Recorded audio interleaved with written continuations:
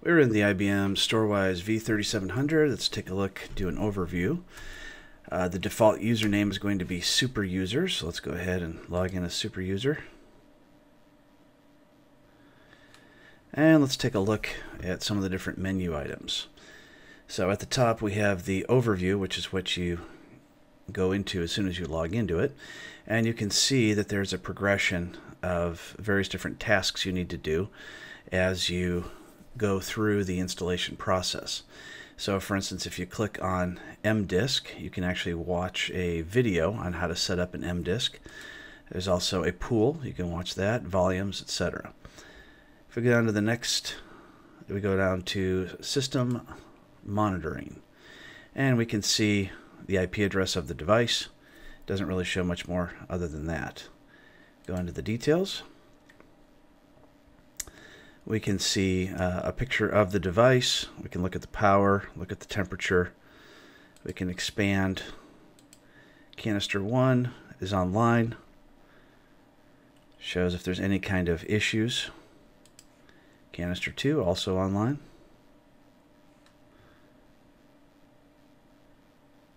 And if we go to events, you can see that there is an Ethernet port failure on one of the uh, Ethernets, which we can then troubleshoot. We can go to performance, and we can see what's happening with uh, the different interfaces, volumes, things like that. Since this is a brand new one, we haven't actually started to use it yet, so you're not going to see a lot of information about uh, usage. All right, let's go to pools, volumes by pool we can see here that there is a pool that's been created, but there's been no volumes that have been created inside that pool. So if we wanted to, we could create a new volume and we could choose generic thin provision, which is sort of a dynamic memory uh, that's used in remote desktop and Windows as a comparison. Uh, mirror, so it, you only get half the amount of data if you choose to get a mirror, but it, you do get that redundancy. And then thin mirror, same kind of thing as the thin provision.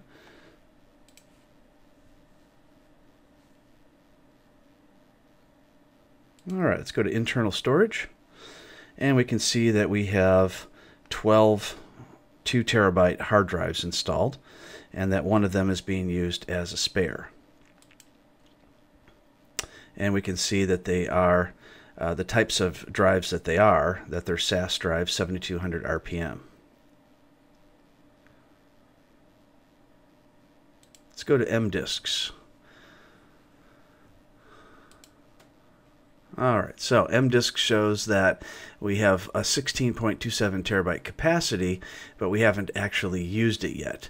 So if we want, we can click on actions, we can rename, we can delete, uh, we can do various different things uh, for the pools that we have here. So we have one M disk inside this one pool.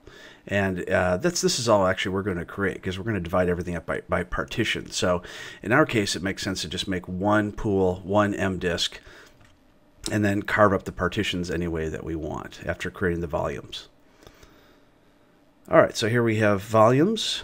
And again, we have not created a volume yet, but we can certainly do that by clicking on New Volume, which we'll do in a separate video. So take a look at the playlist if you want to see that information.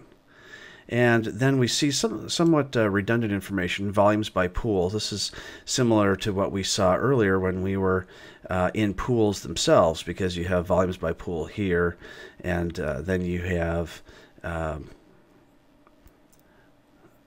volumes by pool under volumes. I mean, so it just it just goes. Uh, there's a little bit of redundancy as well.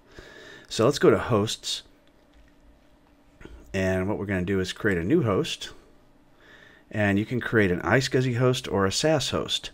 So if you use a SAS host, you have to have a SAS controller card. If you use an iSCSI host, you have to just have an Ethernet connection. And we can call this whatever it is that we want. Uh, and then where it says ports to add to list, this is not an IP address that you want to add. This is the iSCSI port that's uh, listed in your iSCSI initiator. So in your iSCSI initiator, you're going to see a number, and that number is what you paste into where it says iSCSI ports. the documentation is incorrect from IBM where they say to add the IP address itself.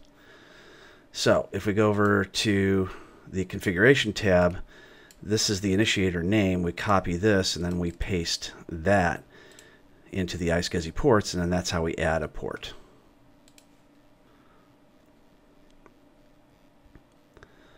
All right, so we have ports by host, which we have not done yet, but we can create a new one and it's the exact same information again.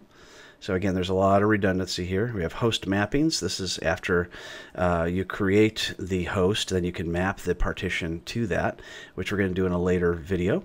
And volumes by host, same kind of thing. We can map those there. Uh, under access, we have users. This gives you a list of the users, and you can easily create new users or change the password under users. And under settings, you can go in and you can change things such as the network information. So this is a real important part here. So you've got management IP addresses, service IP addresses, and iSCSI. So management, this is the IP address. This is what we're in right now. We are in the management itself. So if you click on one, you see one uh, highlights on both the first controller and the second controller. If we click on two, it highlights on the second controller of each. So we can uh, don't have one set for that second controller yet. The service IP address, this is something that you use if you uh, cannot get to the management and you need to repair something, recover something, that kind of thing. So uh, the service IP address is uh, going to be the same IP address by default as the management IP address, but you'll end up getting there when the management is for some reason unavailable. The uh, oh, by default, that's going to be port one, by the way. The iSCSI port, this is where you set the IP addresses for the uh, left and right canisters. And you'll definitely want to set that uh, for both of those. And if you want, you can set up alias or change the names of the canisters as well. So this is an overview. We're going to go into uh, separate videos where we create uh, different volumes and, and partitions and things like that. So uh, take a look at the other videos that are in the playlist and you'll get a lot more information.